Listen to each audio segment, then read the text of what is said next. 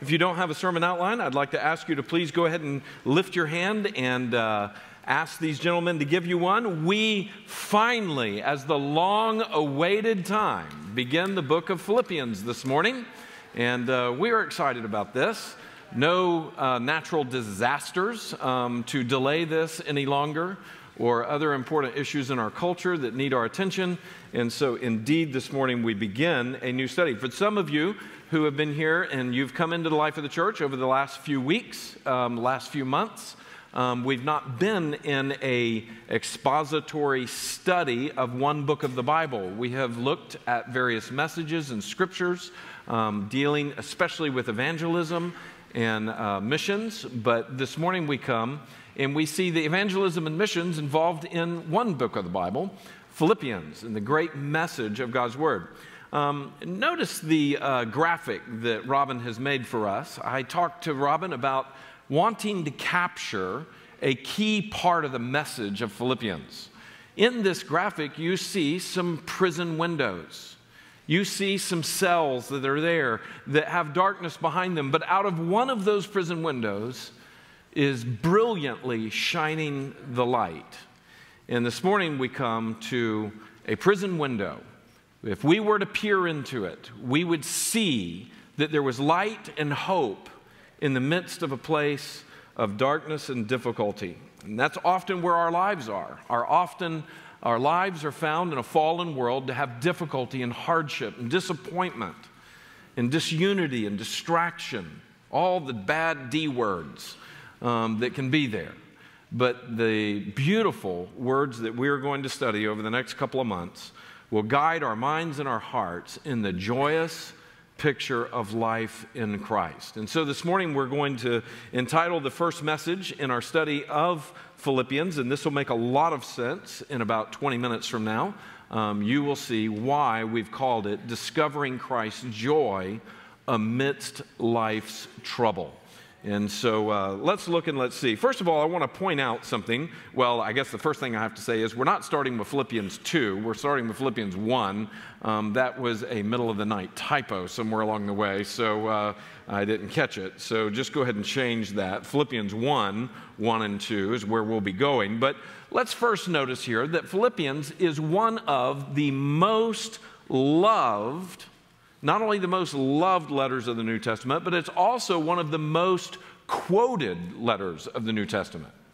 Um, as you read the letters um, uh, that are from Paul and from Peter and various others, we start to see that if you were keeping count on the ones that in this modern day and time that Christians really identify with and say, oh, that's one of my favorite verses, or that's something that's meant a great deal to me, or that's something that encourages me.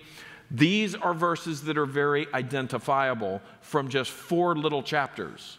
Um, and I want you to see a few of these that are here. And um, I'd like to uh, ask you to mark um, one or two of these that are perhaps the highest priority. So I'm going to give you a moment after we read them for you to remember that they are here in the book of Philippians. And I'm going to ask you to mark which one seems to be perhaps one of your top passages. Um, maybe one or two of them. Look at with, with me, and we just kind of work through it. In Philippians chapter 1 and verse 7, Paul writes, and he says to them, He who began a good work in you will bring it to completion at the day of Christ Jesus. I remember as a high schooler, as a senior in high school, that verse right there brought great encouragement to me because I knew I was struggling. I knew I was, when God was handing out holiness, you know, um, I, I, perceived that I didn't get any um, because I didn't really understand what all Christ had done for me and what all He was working in me. And I knew that I was the, I had met the enemy and He was me.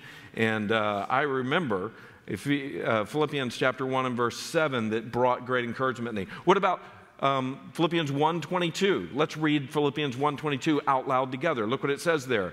For me to live is Christ and die is gain. Let's read that again. For me to live is Christ and to die is gain. Many have said, I cannot wait to finally be with the Lord. I'm not afraid of death. And this reminds me that if I live, I live to Christ. If I die, is gain.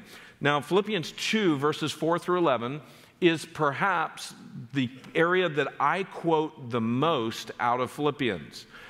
Uh, probably 50% of my sermons will reference Philippians chapter 2 um, and somewhere in these verses because this is one of the clearest descriptions of what Jesus has done for us. And not only what he has done for us, but as we will see in the context of Philippians, that he's calling us to embrace the life and sacrifice of Christ. Look with me in Philippians chapter 2 verse 11. You'll understand when I start to read it. You'll go, "Oh yeah, I've heard that many times."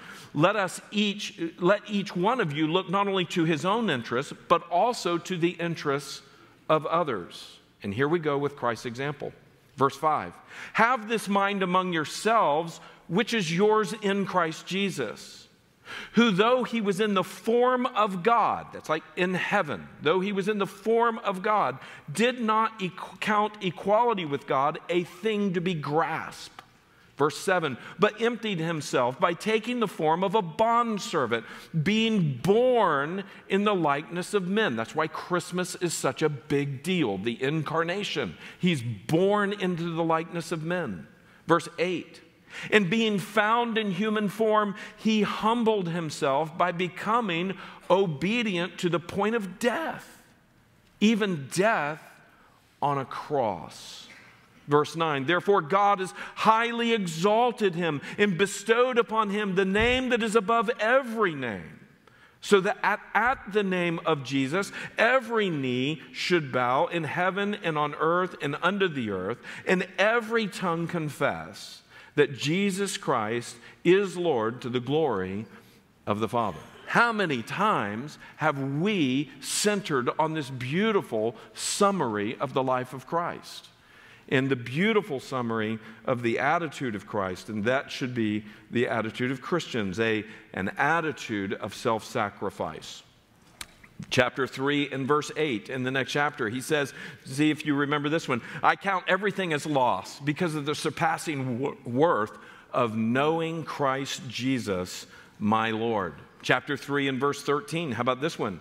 But one thing i do forgetting what lies behind and straining forward to what lies ahead i press on toward the upward goal for the prize of the upward call of god in christ jesus I press on toward the goal of the upward call of the God of the prize in Christ Jesus. I, I have two different versions in my head. When you memorize a version back when you're a kid, like New American Standard, you mix it up a little bit. But that's, that's the picture of great, great hope. Look at chapter 4, verses 4 through 8. Maybe this is one of the ones that you remember from years ago um, meant much in your life. Rejoice in the Lord always. And again, I say rejoice. Don't be anxious for anything, but in everything, let your requests be made known to God. And the peace of God, which surpasses all understanding, will guard your hearts and your minds in Christ Jesus.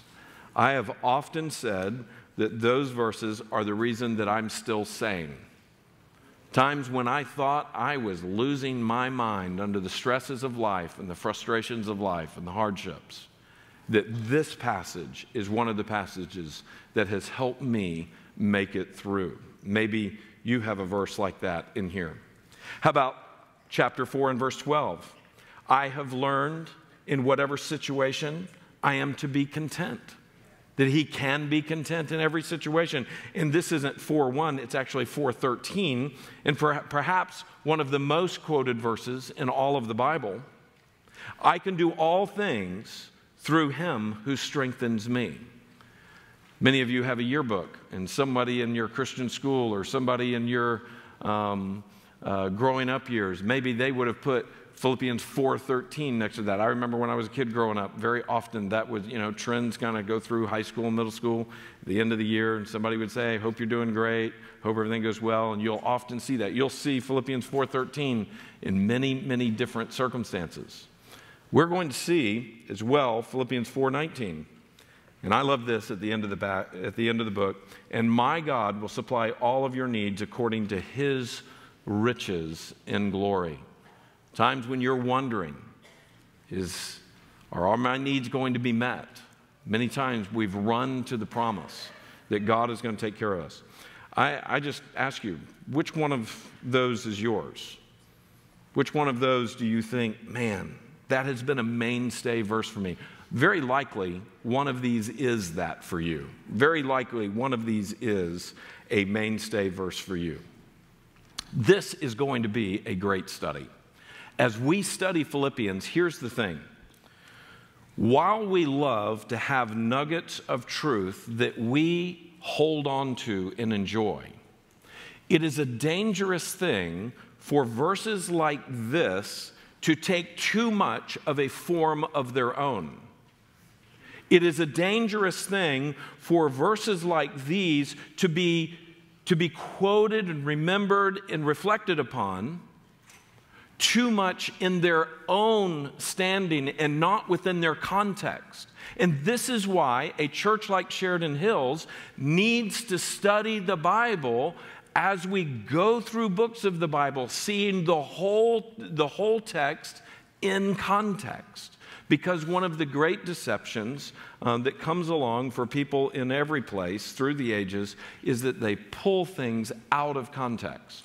How many of you have ever been in a conversation with somebody and they said, Well, you said this? And you say, Well, wait a minute, you're pulling that out of context. In fact, in this day and time, with all of the video and all of the, the vignettes that come through Instagram and, and through Facebook and through um, just even the, the normal media that we have, and you can take a, someone's, someone's statement and edit it in such a way that what they appear to be saying is not what they're saying at all by simply pulling things out of context. Um, indeed, we can do that with God. We can take His word and pull things that He said out of context and misunderstand them, and sometimes be greatly deceived by them. This morning, as we start this study in the book of Philippians, I want us to recognize that these are powerful on their own, but they are so much more powerful as we study the book in context. And so we're going to enjoy coming through this. So we turn to the scripture. We turn to study the book of Philippians. I'd ask if you would to take your Bible. And since we're studying the book of Philippians, I'd like to ask you to go ahead and turn with me to Acts chapter 16. So turn to Acts chapter 16. Some of you are saying, he just messed up. He just messed up, like he didn't put a one on there and he didn't put a three down there. He just messed up. He's saying Acts chapter 16 when we're studying the book of Philippians. He means Philippians. No, not at all. Because the picture is you cannot really understand what's going on in Philippians if you don't understand the context of where it comes from. And Acts chapter 16 is where we see that context, and we're going to read a few verses out of there in just a moment. But look at the bottom of your outline. We want to look at the background of Paul and the Philippians. And if for some of you, you've, you've kind of grown up in church and you kind of understand much of the view of the Bible, this will be very encouraging to you, and uh, maybe even a few things will become even clearer. For some of you, you've never studied the Bible, you've never had, you're just coming, and we want to say to you, we are so glad that you're here. And you had to go to the table of contents to find the book of Acts. That's great, no problem. Everybody ought to turn to the table of contents, do that, that's fine, it's no problem. Um, we're just glad that you're here but the information on the bottom of this page might help you to really start putting together much of the structure of the New Testament. First of all, the New Testament starts with four books. They're called the Gospels, and they're named after the guys who wrote them. And let's, let's just say, for those of you who know those four, let's say what the Gospels are. It starts off with Matthew, Mark, Luke, and John. Let's say that again Matthew, Mark, Luke, and John. Now, those tell the narrative of, jo- of Jesus' life. Those start with his birth, and they go through a couple of details of his childhood, but then it launches right into his earthly ministry when he begins teaching and preaching the Word of God. And it goes through all of his interactions, or many of his interactions, with not only the disciples, but the Pharisees and the people that are all around. And for three years, he's telling us why he came. For three years, he's telling us God's perspective on everything, especially the Old Testament. That's very, very important. And so, Matthew, Mark, Luke, and John are, th- are three eyewitness accounts and one research account of the life of Christ. Dr. Luke did not walk with Jesus. Dr. Luke, or the guy who wrote Luke, he was a medical doctor and a bit of a historian. He went and did much research and put it all together over the years of everybody that he talked to. And so we see these different perspectives that are here. Now, what I want you to see here is that the beginning of Acts is really the end of the Gospels. And so Matthew, Mark, Luke, and John give way to the very next book, which is the book of Acts. Why is it called Acts? And right above this, maybe right above in the open space there, the Acts of the Apostles, or the actions of the apostles. That's what the book of Acts is about. It's when Jesus, notice here at the end of the Gospels, there's the death, resurrection, and ascension. That means Jesus bodily leaving in physical form. He's already promised that the Holy Spirit is going to come as he leaves. And then there's Pentecost. And Pentecost is when Peter stands up and preaches, and he's preaching to them this one who you crucified just a few days earlier, this one whom you crucified is indeed the Messiah, the Christ. And on that day, 3,000 people are saved. It's an amazing event. But that happens as the Holy Spirit comes and breathes upon the people. And for the first time, we see God's Spirit coming and indwelling all of God's children. This is the beautiful picture of Pentecost. And so the, the era of the church is launched in a very overt way. And so that's Acts chapter 2. Now, the book of Acts is what tells the story of these apostles and how we get to a letter being written to the people at Philippi. First of all, notice here the conversion of Saul. His name was Saul, and he, he, when he comes to faith in Jesus Christ, his name is changed to Paul. And uh, we see that conversion in Acts chapter 9. Now, notice this this all happens around the year AD 33. Um, AD, we're not sure which year Saul would have prayed to receive Christ, but we believe that it was AD 33 or 34. And then Peter is imprisoned and then he is miraculously delivered from prison. And Herod Agrippa, a great persecutor of the church, dies. These were important events that would affect the life of Paul as well. And Acts chapter 12 tells that. That's about 10 years later in Acts in, in AD 44. And then Paul's first missionary journey. He travels out from Antioch, being sent out from Antioch, and travels around up through what is modern day Turkey and he is planting churches, preaching the gospel. God is working in that. That's Acts chapter 13, about 46 through 47. And then there's a great Jerusalem council. And the question is, one of the questions is, is, is the gospel really to go to Gentiles? And if the gospel goes to, Gentiles, non Jews, so the church centered there, they hold a council and they're saying, well, do they have to come under the law? Do they have to be circumcised? Are they supposed to observe these feasts? I mean, how is this all supposed to work out? And you can go and you can read in Acts 15 the debate and the discussion and how they worked through the fact that indeed the gospel is for the Gentiles. And Paul is sent out from that with a blessing saying, Take the gospel to the non Jews. We support you in that. We are excited about that. Look at the next part here in Paul's second missionary journey. Now, I've underlined it for a reason. Paul's second missionary journey, which is recorded in Acts 15, 16, 17, we see that he first visits Philippi during that trip.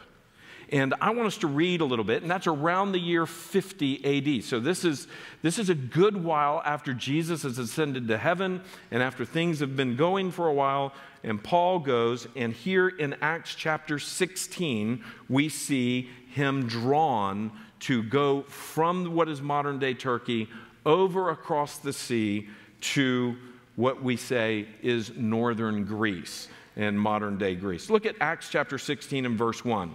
Paul, Paul also came to Derbe and to Lystra, and a disciple was there named, what's his name? Woo! So Timothy enters in with Paul at this time. son of a Jewish woman who was about to be a believer, but his father was a Greek. He was well spoken by the brothers at Lystra and Iconium, and Paul wanted Timothy to accompany him. And so he took him and circumcised him because of the Jews who were in those places. Now, there was a bunch of Jews in the area that hadn't got the memo from, um, from the Jerusalem Council.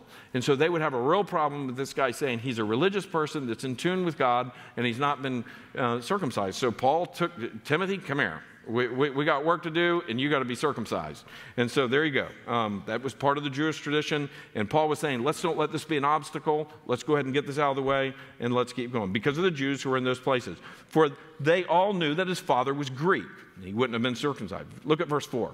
And as they went on their way through the cities, they delivered to them to they delivered to them for observance the decisions that had been reached by the apostles and the elders who were where?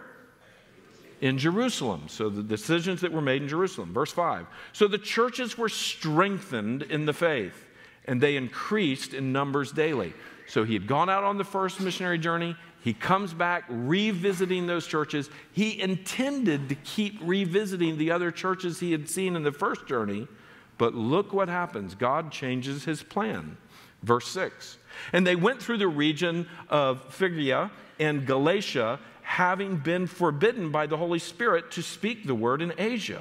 So the Holy Spirit is, is, is, is buffing them, the Holy Spirit is stopping them. Very interesting. Verse 7 And when they had come up to Mysia, they attempted to go into Bithynia, but the Spirit of Jesus did not allow them. So, passing by Mysia, they went down to Troas, and a vision appeared to Paul in the night a man of Macedonia, now that is Greece, a man of Macedonia across the sea was standing there urging him, saying, Come over to Macedonia and help us.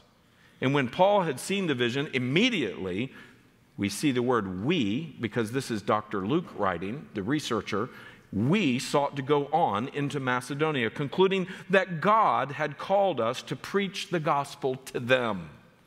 Now, look at this. So, setting sail from Troas, we made a direct voyage to Samothrace, and the following day to Neapolis, and from there to Philippi. There it is. So, this is his first entry into Philippi, which is the leading city of the district of Macedonia and a Roman colony. Now, we're going to talk about this in coming messages, but this is a very big deal that Philippi is actually a colony of Rome and the Roman Empire over there in Greece. This changed the rules about how many things would happen in that town. And in fact, there would have been an upper level of control that was Roman. They spoke Latin, they did not speak Greek. And so the picture was that there was a difference between the common people that were there under the power of Rome in this special Roman colony. That plays into the whole message of Philippians. As we will see, that that would affect their conditions in life.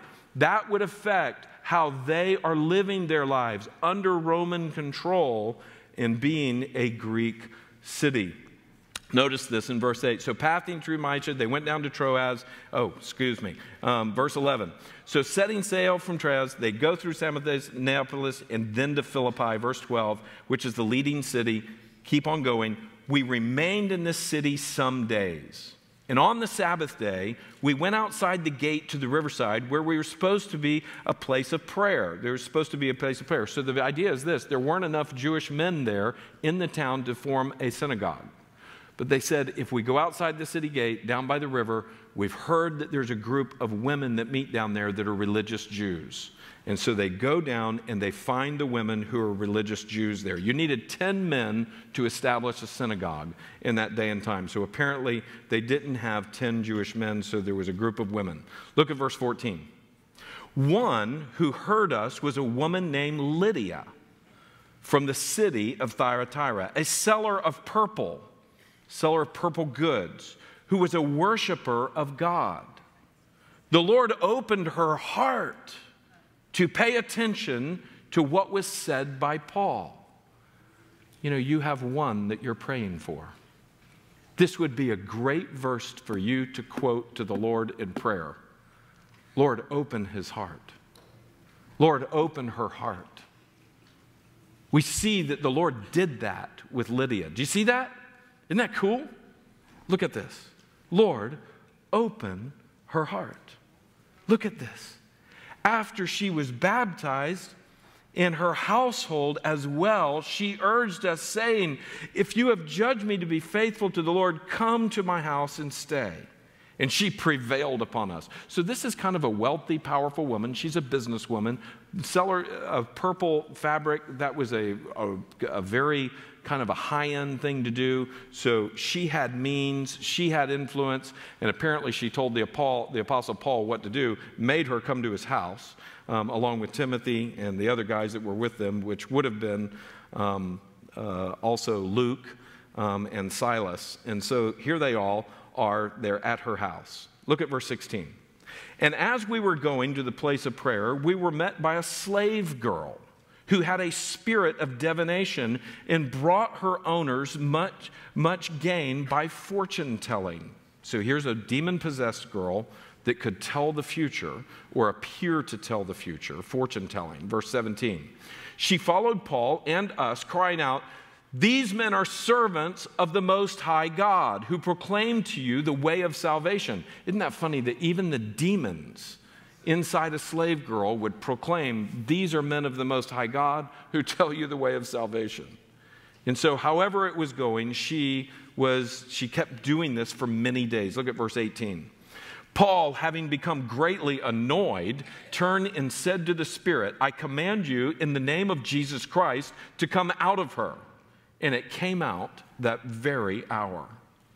But when her owners saw that their hope of gain, so their profit gain from her fortune telling, was gone, they seized Paul and Silas and dragged them into the marketplace before the rulers. That would have been before the Roman magistrates that were there. And when they had brought them to the magistrates, they said, These men are Jews and they are disturbing our city. See, they didn't have many Jews, didn't even have enough to have a synagogue. That's why the women had to meet outside the city. So they were seeking to squelch this. Look at verse 21. They advocate customs that are not lawful for us as Romans to accept or practice. That's a very important charge that plays into the rest of Paul's life. They're saying that these are not men who believe in Caesar. These are not men who believe that he is a God. These are not men who believe in our gods. Notice here what it says in verse 21 they advocate customs that were not lawful for us to accept or to practice. Verse 22 the crowd joined in attacking them, and the magistrates tore the garments off of them and gave orders to beat them with rods. And when they had inflicted many blows upon them, they threw them into prison, ordering the jailer to keep them safely. Having received this order, he put them into the inner prison and fastened their feet in the stocks. Now, Ordering the jailer to keep them safely doesn't mean, hey, take them some extra food, make sure they have a good pillow. That's not what it means. He's saying, go put them down where the roof is real low, all the way in the back, where it, they, they're not going to get out. So secure them safely. Look at verse 25. About midnight, Paul and Silas were praying and singing hymns to God and prisoners were listening to them. And suddenly there was a great earthquake, so that the foundations of the prison were shaken. And immediately all the doors were opened and everyone's bonds were unfastened, so their, their chains came off. And when the jailer woke and heard the prison doors were open, he drew his sword and was about to kill himself, supposing that the prisoners had escaped. But Paul cried out with a loud voice, Do not harm yourself, for we are all here. And the jailer called for lights and rushed in. And trembling with fear, he fell down before Paul and Silas. Then he brought them out and said, Sirs, what must I do to be saved? And they said, Believe in the Lord Jesus, and you will be saved, you and your household. And they spoke the word of the Lord to him and all who were in his house. And he took them that same hour of the night and washed their wounds, and he was baptized at once, he and all his family. Then he brought them up into his house and set food before them, and he rejoicing along with his entire household that he had believed in God. Isn't this beautiful? Have you read this recently? It's so beautiful to see that God can work in a woman who's very wealthy and cause her heart to believe. It's so beautiful to see how God can work and, and change the circumstances that are so against a, a tough Roman jailer coming to faith. But they rejoiced that God had caused them to believe. Look at verse 35. And when it was day, the magistrate sent the police, saying, Let those men go. And the jailer reported these words to Paul, saying, The magistrates have sent to let you go. Therefore, come out now and go in peace. But Paul said to them, They have beaten us publicly, uncondemned, men who are Roman citizens, and have thrown us into prison. And do they now throw us out secretly? You see, you weren't allowed to beat a Roman without a trial. No, let them come themselves and take us out. Bring the judge in, let him see what he's done. The police reported these words to the magistrates, and they were afraid when they heard that they were Roman citizens. So they came and apologized to them, and they took them out and asked them to leave the city. So they went out of the prison and visited Lydia. And when they had seen the brothers, they encouraged them and departed. The book of Acts is awesome. It tells the story of the early church. It tells what we can be doing as well as we go and continue their work in this day and time of saying a Savior has died. He is the Most High God. And so I just, I want you to see here that this, this group of people that would come to faith in Philippi had had some very beautiful, dynamic experiences of seeing God move in their work. Notice here Paul's third missionary journey, then he goes under house arrest in Rome in AD 62, about 10 years later. And when the church in Philippi finds out that Paul is in jail in Rome, he receives a gift from Philippi and then he writes back to them. And what we're going to study is the letter that he writes back to them all those years later, 10 years later. Now, notice here about AD 64, between AD 64 and 67, Paul is beheaded in Rome. And he's beheaded in Rome by Nero. And this is um, also very important. Titus ultimately sacks Jerusalem, and everything changes that would, that would bring about a great change for the early Christians as the temple is destroyed. The temple that was in Jerusalem, Herod's temple, is destroyed and all of the sacrifices are no longer offered. That happened in AD 70. World history tells us that clearly. If you would, flip the sheet over, and I want you to see this paragraph that I've written. I've really reflected on this and wanted us to see this is so important for, under, for us to understand for the study of Philippians. Paul's life after his conversion, notice this, after his conversion, Paul served his Messiah for more than 30 years by faithfully preaching salvation in Christ, making disciples, and planting churches everywhere he went. At first, he was doubted and feared and avoided by Christians. At times, he had Christians, Jews, and Romans attacking him all at once. As the decades went by, he would be whipped, beaten, jailed, tried, convicted, shipwrecked, snake bit, stoned, left for dead, run out of town, and abandoned. I didn't put here, but abandoned by his friends, even many times. He walked thousands of miles in the heat and slept in the cold. He was often hungry and always in pain. He spent years of his life in various prisons until Nero finally beheaded him as a treasonous Roman citizen. And yet, at the end of his life, Paul would write this little letter that mentions joy or rejoicing 16 times from prison. Amazingly, here is not found bitterness, anger, despair, disillusionment, or resentment we only see a humility, gratitude, and attitude that transcends the trouble of this life through the joy of having Christ. Now, my friends, we need Paul's perspective. And Paul's perspective is the perspective of the joy of Christ in us. And why do we need this? Because life in a fallen world is hostile toward not only our own flesh and our own bodies, but it is hostile to our faith and our peace. I want to encourage you to write out there to the side of that blank where you wrote in the joy of having Christ. Write out there to the side these words Service and suffering is what we see in his life, yet with the joy of Christ. We see his service and we see his suffering, but the thing that keeps loudly coming through, boldly declared with joy, is not despair and discouragement but we see the joy of Christ. And it's not the joy of his circumstances or himself, it's the joy of Christ.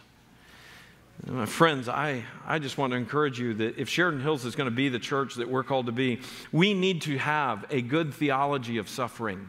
We need to have a good understanding of what it means to be a child of God in a fallen world, waiting for the day of reckoning.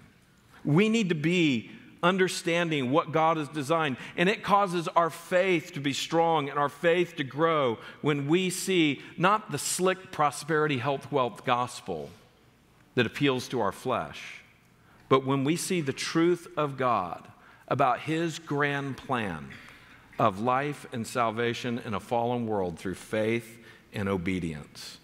God comes and He brings the blessing that only He can give.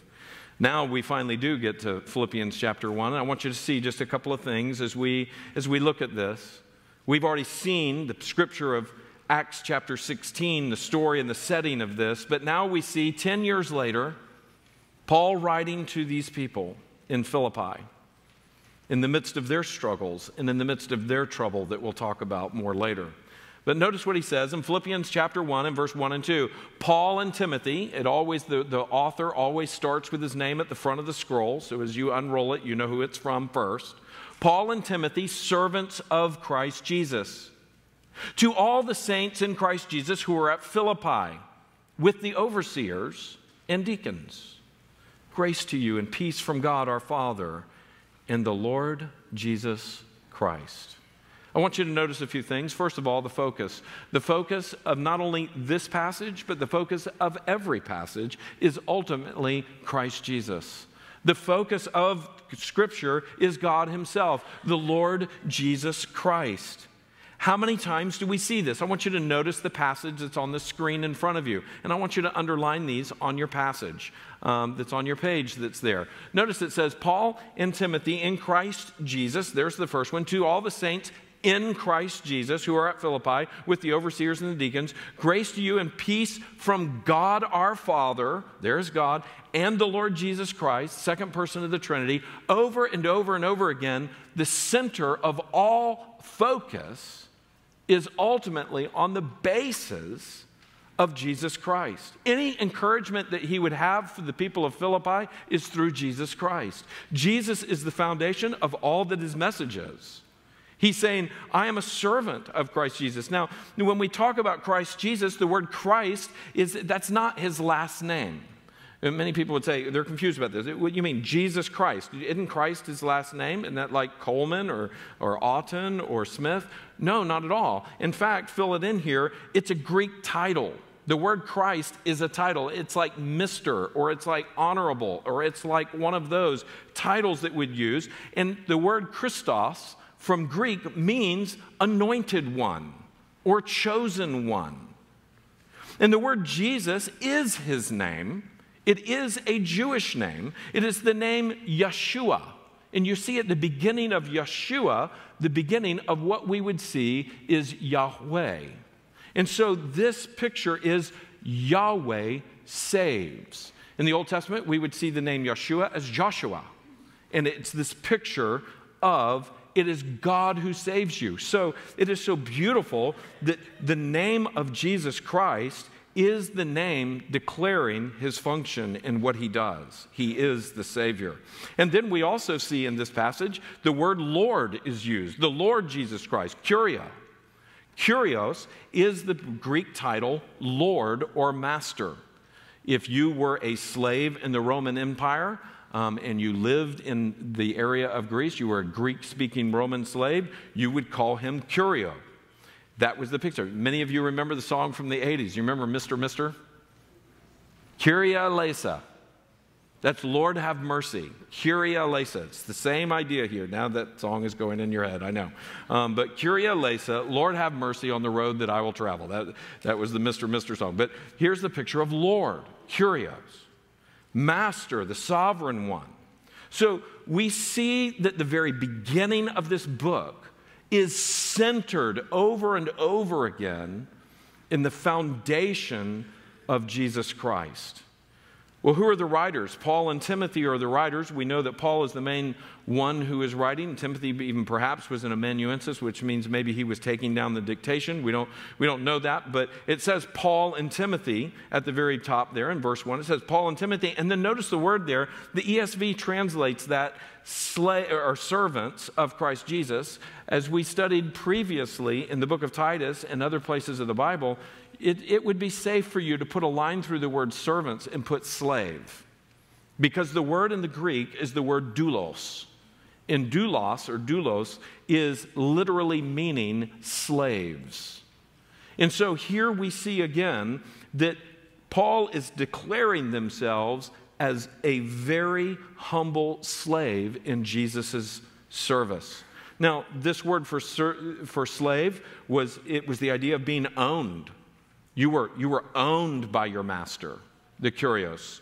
This was servile. This, this is the sniveling servant. This is the servant that's running around seeking to do everything the master wants, looking at the master, seeking to do everything that he wants, feverishly, furiously seeking to not um, dishonor the master. You see, this is, this is the, the place of no rights. This is the place of no personal rights. You have no right. You are owned and you are a slave. This is utter submission. And what we find in all of Paul's writings and what we find in all of the gospel is that the greatest thing a human could ever be is a slave of Jesus Christ. Because he is the perfect master who knows how to take care of what he owns and what he has. He made us for his glory, and the safest place is to be in his family. The safest place is to be a servant, to be a slave in his household. And so that's what Paul calls himself. We are slaves of Christ Jesus. And then to the recipients, this is so interesting. He says to the recipients, to all the saints in Christ Jesus. Circle that word saint up there in the middle of verse 1. To all the saints in Christ Jesus. Oh, the beauty of this who are at Philippi, the, the beauty of who they are. It's the word hagios, or literally means holy ones. These are the ones who have been made holy. Now, the way that the Roman Catholic Church declares a saint is not at all what the scripture actually says about who a saint is. You need to understand that in the scripture, the picture of becoming a saint is believing upon the Lord Jesus Christ, as we read in Acts chapter 16 of Lydia and of the Philippian jailer. That this is what makes us holy and blameless. It is not doing miracles. It is not having a stellar reputation. It is not allowing a certain amount of time go by for a certain number of people to recognize and honor your memory. The real picture of a saint is not what we do or what somebody else says about us. The real picture of a saint is what Christ did on the cross for us when he saves us by his own blood and declares us his child and declares us righteous. That is what a true saint is. And so this literally means the holy ones in Christ Jesus. And notice this with me, it's very important. It doesn't just say the saints who are at Philippi. Here he's being very careful to say the saints in Christ Jesus. The thing that makes you a saint is the sacrifice of the Messiah, Yahweh saves, Savior. And so we see this that it's not the holiness of ourselves that makes us, but it's in Christ. We see that in Ephesians chapter 1 and Colossians chapter 1. You can go read those chapters that talk about in Christ, in Christ, in Christ. Everything that you have is in Christ. Look at 2 Corinthians 5:17. It says, "Therefore, if anyone is what? In Christ, he is a, underline it, a new creation. The old has passed away. Behold, the new has come. Jesus would look at Nicodemus and say, Nicodemus, you need to be born again. You, need, you, you don't just need to get better. You can't, you can't just hope to get it together. Just let me make you new. That's the picture. He is a new creation. Look at Colossians 1 22. This is so beautiful. He has now reconciled you in his body of flesh by his death in order to present you, underline this, to present you holy and blameless and above reproach before him. The only way that we can ever be made holy and blameless and above reproach before God is to be washed in the blood of Christ, his Son. And so, this is the great picture of all who are in Christ Jesus are called the holy and the blameless. You, you say, Well, my husband, I'm not so sure he's so holy. Well, you may have a point there. Or my wife, I'm not so she, you know, she says it, but I, you know, whatever. Listen, we have to understand that this is, as we come, we, we, we are called to a very definite conversion in Christ Jesus, of surrendering our minds and our hearts to Him and transferring trust from selves into Christ.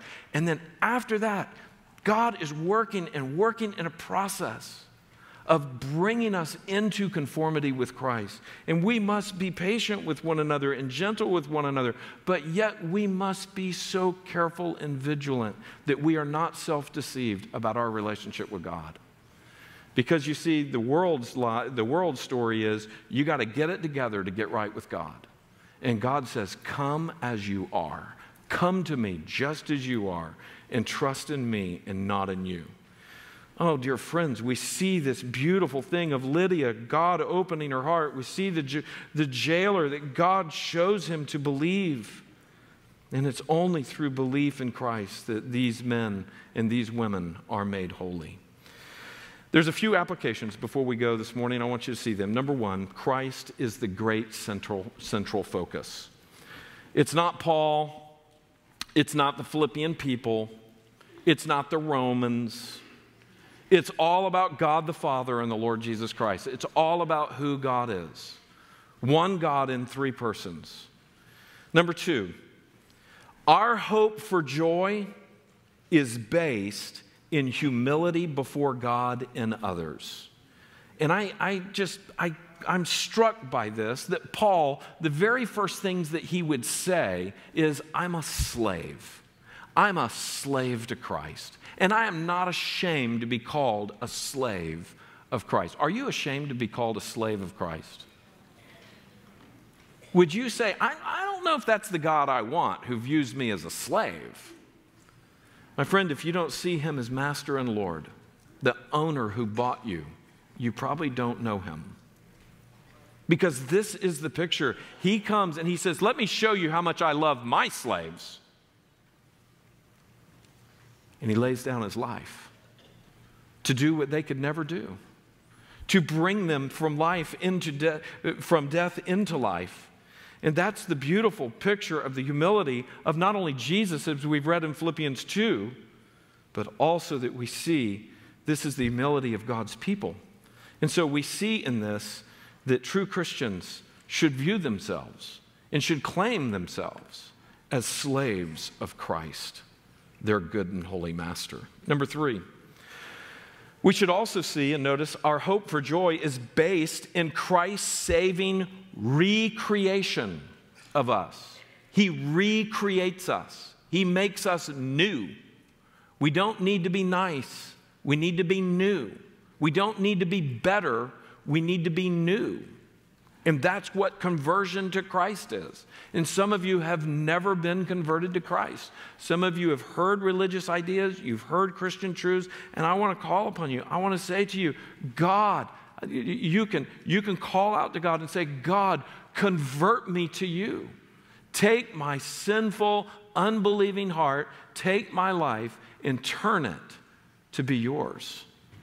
This is turning from sin and self and trusting in anything other than Christ. And it is beautiful. We see Lydia come to believe, we see the jailer come to believe, we see others come to believe. He recreates us and makes us holy. Number four, I want you to see this as we close. Our hope for joy is based in the body of Christ, the church. Now, I want to be very clear here. The church will not save you. Only Christ can save you. But I want you to see here that Christ cannot be separated from his bride, that the bride of Christ is important. Your church life is important to your joy. When Christians seek to live a Lone Ranger Christianity, the sign right now out there on the street, there's a portion of it right now that says, um, There's no Lone Ranger Christianity. It doesn't work. What we are called to do is live in faith together as a family, to encourage one another. Man, Satan is crafty. He's like a roaring lion seeking to deceive you and distract you and take you down. Just this week, I've heard two stories in our church of massive temptation and even failure as a result of that. He is wicked. He holds no bars. He will destroy your life. You know, the Bible just makes very clear that sin is, is what has caused us to be depraved and to, to be willing to do anything. Sin will make you stupid, but the Savior will save you from that stupidity and redeem you from the clutches of sin and hell. You see, it is the saints along with the overseers and the deacons. The picture is this is the church. It's the leaders of the church, the servants in the church, and the people of the church. All together. This is the context of the church.